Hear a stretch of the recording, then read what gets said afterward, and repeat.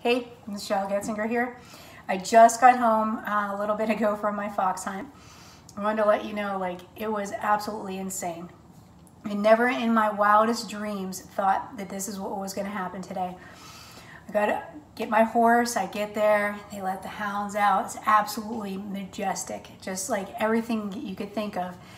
And we start galloping down this, you know, um, pathway up this hill. I'm not gonna lie to you, I got a little teary eyed, okay? We start crest, cresting up the top of the hill. There's about 20 riders, there's 40 dogs, everybody's barking. I have no idea what to expect, okay? I'm thinking this is gonna be like a nice little jaunt in the woods. No, let me tell you, it was seriously intense. Galloping up the hill, full speed, and it was dawn and, and the dew was still on on the hay in the field and it was golden. It was so picturesque and you could see like the evaporation of the dew um, and, and the hounds are just running across. There's a couple deer you know going and you're just galloping up and it's tears start welling up in my eyes you know there's dirt flying.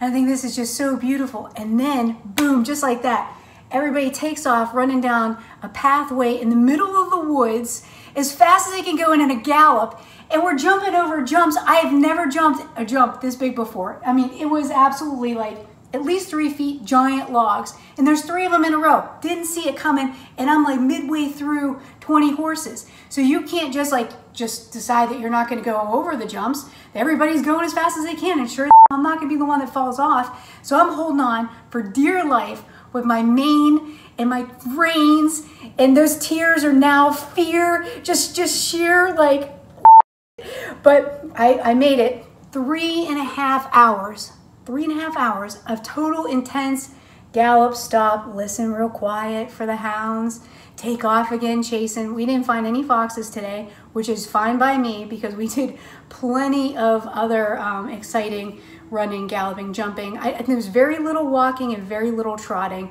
A lot of holding on and anything that I ever learned in a riding lesson, out the door, okay? Because it was just like, like my girl who brought me along, Marcie said, it's just survival of the fittest. The whole, the whole game is just stay on the horse and enjoy yourself.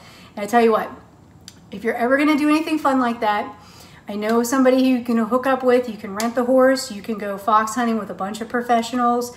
Um, you definitely need some advanced riding skills before you do it. Um, I would definitely recommend taking a lesson or two with one of the fox hunt people before you decide to do this. But it has been probably the most adrenaline junky thing I've ever done. And I've done bungee jumping, zip lining, scuba diving. This by far, my heart did not stop beating in my throat for three and a half hours. It was just nonstop excitement, scary, death, stupidity, um, just about everything, you know, that I can think of. It was pretty intense.